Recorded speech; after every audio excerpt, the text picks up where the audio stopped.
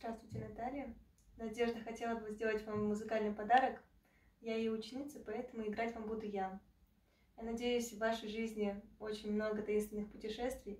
Именно поэтому для вас я хочу исполнить таинственное путешествие и оду к радости.